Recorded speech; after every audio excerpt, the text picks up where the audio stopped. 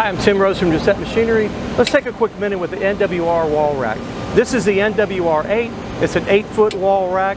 Incorporates many of the designs from our SRX rotary system.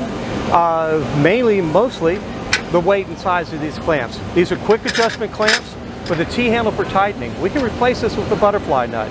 For you, it's as simple as placing the clamps where you need it, and putting your product and tightening up, and you're good to go.